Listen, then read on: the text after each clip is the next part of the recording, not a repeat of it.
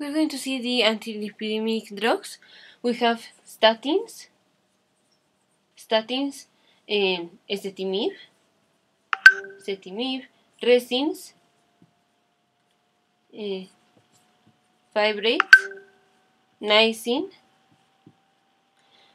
uh, inhibitors of the protoprotein convertase subtilistin uh, kexin type 9 uh, fish oil. Fish oil and exercise.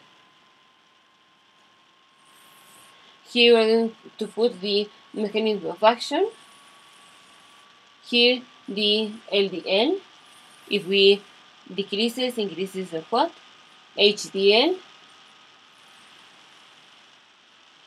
VLDL and adverse effects. Ah, I forgot triglycerides, triglycerides, and adverse effects.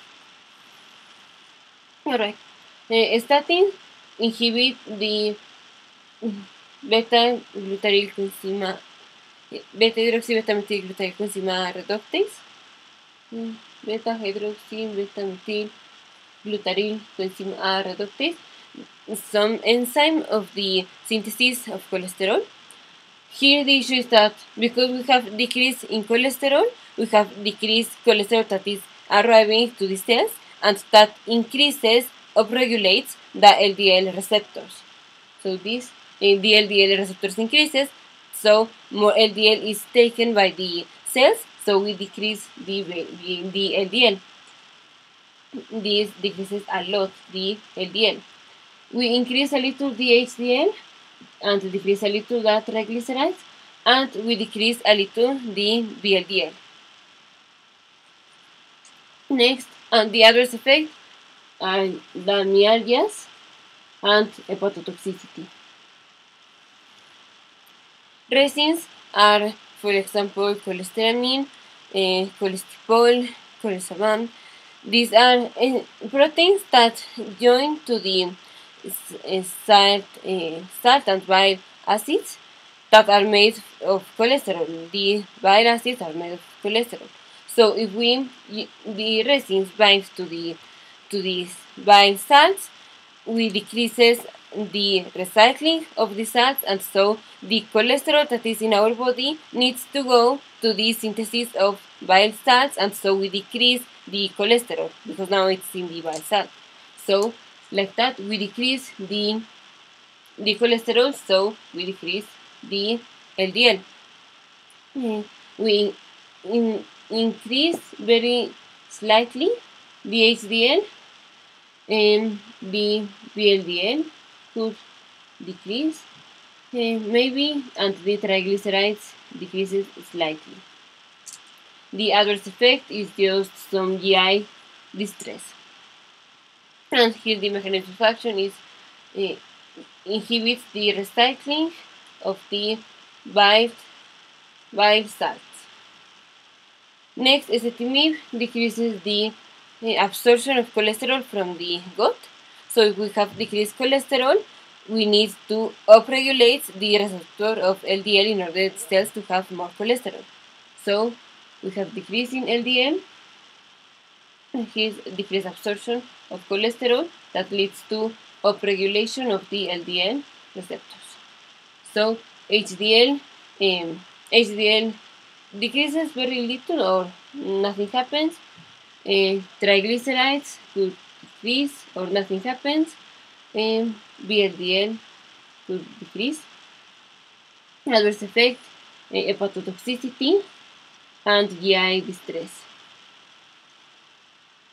Next, the fibrates uh, of regulated PPRA, uh, the response element of the peroxisome. The, this response element produces uh, increase in, in the synthesis of HDL. HDL increases. Also increases the synthesis of lipoprotein lipase. So because we have increasing this enzyme, we are taking more VLDL and chylomicron. So we are decreasing the VLDL and so the LDL. Mm. Um, the triglycerides are going to be a lot decreased and the adverse effects are myalgias, especially with statins, hepatotoxicity, uh, stones, bile stones, because we also inhibit the 7-alpha hydroxylase enzyme in the synthesis of uh, bile acids. So if we could not form bile acid, we have increased cholesterol. So that increase in cholesterol produces the cholesterol stones in the gallbladder. Next, the, the niacin increases synthesis of HDL, decreases synthesis of VLDL, and uh, increases the hormone sensitive uh, lipase because uh, sorry inhibits in, inhibits the hormone sensitive lipase because we are decreasing the lipolysis so um, decreases the hormone sensitive lipase and produces the also the increase in, in HDL, decrease in VLDL synthesis. Uh, adverse effects is flushing from increasing the prostaglandins. So we can prevent this adverse effect if we give the, the uh, aspirin. Also, we can have hyperuricemia and hyperglycemia. And we also decrease the LDL a little bit. Next, the inhibitors of the proprotein convertase subtilistin uh, kerosene uh, type 9. This is the protease that um, destroys the LDL receptors once they are internalized. If we inhibit this enzyme, then the LDL receptors are not internalized, and so we have more LDL receptors that are going to trap the LDL. So we will decrease the LDL a lot. We also increase a little bit the HDL and decrease the VLDL and decrease the triglycerides. Um, the adverse effect is delirium, dementia, um, some cognitive function dysfunction, and myalgias. Um, the fish oil decreases the fatty acids, the free fatty acids that are go, going to the liver, and decreases the secretion of VLDL. The synthesis of, of LDL is a little bit increased and the triglycerides are a little bit uh, increased. Only with high, um, very high concentration of fish oil we could decrease the triglycerides. And the HDL could decrease a little bit or no. And the exercise increases HDL HDL decreases the triglycerides, triglycerides and decreases the LDL. Alright, and the other effect of this is just nausea for fish oil.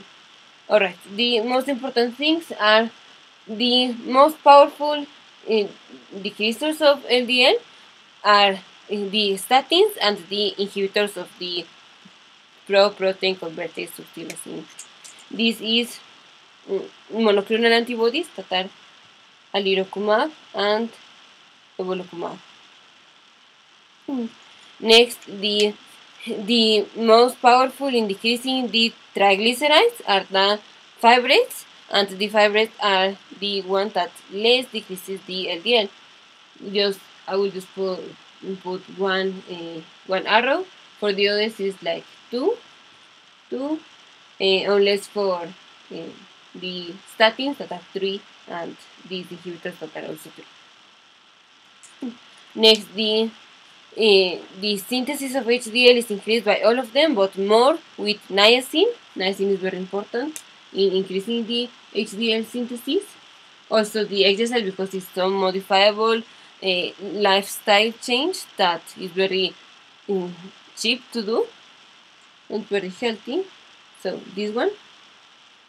And the the synthesis in lipoprotein lipase is increasing fibrates and the synthesis of of uh, VLDL is decreased in niacin and also is decreased the the response of hormone-sensitive lipase.